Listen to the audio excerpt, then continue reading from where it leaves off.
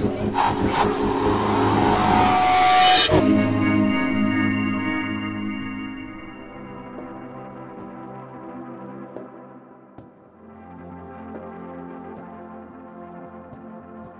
might have seen the other film and you know that I'm interested in tether dynamics. And part of that is flying kites and doing experiments. But in those experiments, I need to know where the tether is and what it's doing over time. And it's easy to see the tether from here. It's nice and black and fairly visible. But from way far away, so that we can see the entire tether, it gets a bit difficult to see what this line is doing. So we're going to need to do something about that in terms of image processing.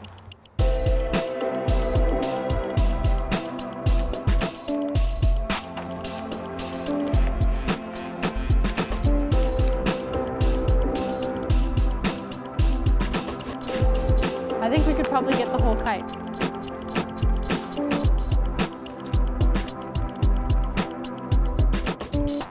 So we're going to set up the cameras in two directions because we want to record the dynamics of what the kite string is actually doing. And from the pictures, we're going to try to find the tether in the sky. So it's quite cloudy, so it'll be quite difficult. But hopefully with some clever algorithms and image processing, we can uh, find out where the tether is and what it's doing over time. So on the video camera, you might not actually be able to see the line because it's lower resolution, but hopefully on the stills, we'll be able to work out sort of where the line is just based on averaging different directions over time. I don't think there's a- Horizontal. Yeah, I did. Why Are you zoomed in?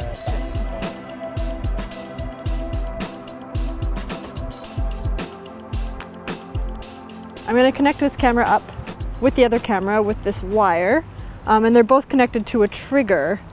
Um, and with the trigger, they'll both shoot at the same time, so we'll get one picture every second.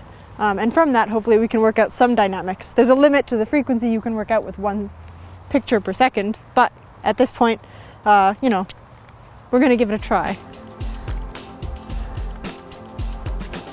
Okay, so I can't take credit for a lot of the hard work that went into this project. There's a master's student, Richard Shaw, and he did a lot of work uh, for his master's figuring out how you could find a tether on a background of clouds or trees or all of those kind of things. And he came up with a really clever method in terms of image processing to find this tether. And he runs around in the rain a lot. It is really starting to rain. You know, like everything, you can't really control the weather. So we're going to try to get some really quick shots in here and then pack everything up. So the kite's flying. Hopefully, we don't have any lightning or thunder. Uh, looks like the kite's in the image. It's starting to rain a lot. Is it ready? Is it set up, Richard? Are we good to go? Richard, are we ready? oh, I can hear them in the distance. So you can hear the camera going about every second. Click, click, click. And it's nice and wet. Okay, so I think that's enough standing around in the rain. Um, hopefully we have some good shots. We can go analyze them on the laptop and see if we got anything useful and can see where this tether is on this very cloudy, rainy sky. Hmm. Different problem. Why that and not that?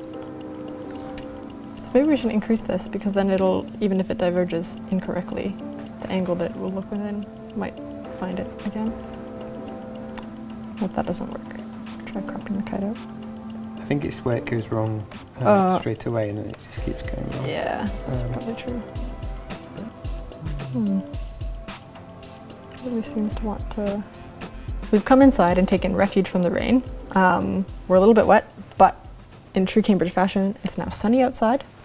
Um, we've uploaded some of the photos and we're doing a little bit of analysis. We're playing around with different parameters to see if we can indeed find the tether in this image that really just looks like a bunch of clouds. So this is the original image, and here we have what we've been able to find. So we've been able to find the bottom of the tether. You can see the tether's actually right there, but it starts to diverge a little bit right at the top, right where the kite is. So that's not ideal.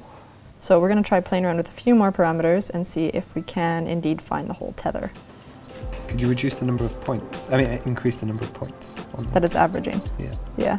Uh, no, uh, increase the number of points. Ah, So reduce the number of points that- it's that's averaging. averaging. Control Z that and increase the angle. Two, four,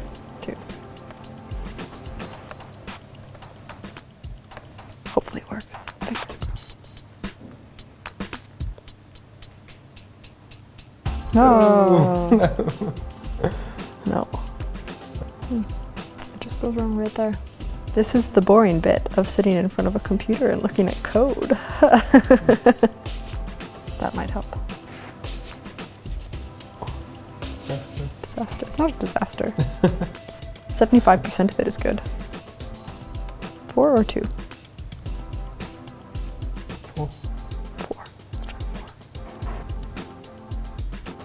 Hey. There we go. Success.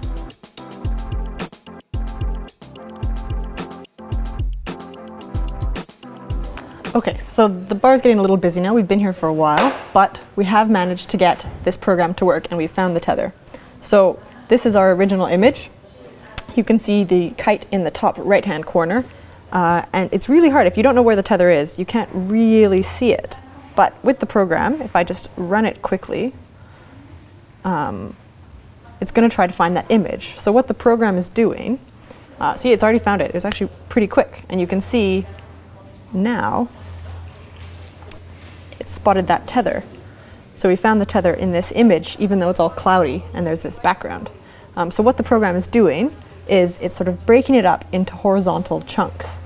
Uh, and then running a filter, and this filter runs at a bunch of different angles because we know the tether is going to lie in one of those angles. So even if we can't see the tether at one point, because there's clouds in the background and different tones, um, along one sort of line, there's going to be a peak, a, a spike in the intensity of the pixels.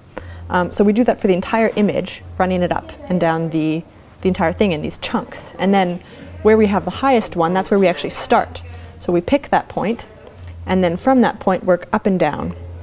Um, and then we only need to look within a certain distance and a certain angle from the spot that we found. So this program will be really useful in terms of experimental validation. With two cameras looking at this, we can find the tether in 3D and work out the dynamics. I don't need to attach any sensors to the actual cable itself, and I can get dynamic response. So it's really useful. I'm pretty proud of this entire program. It's really exciting, um, and it'll be really useful for my PhD.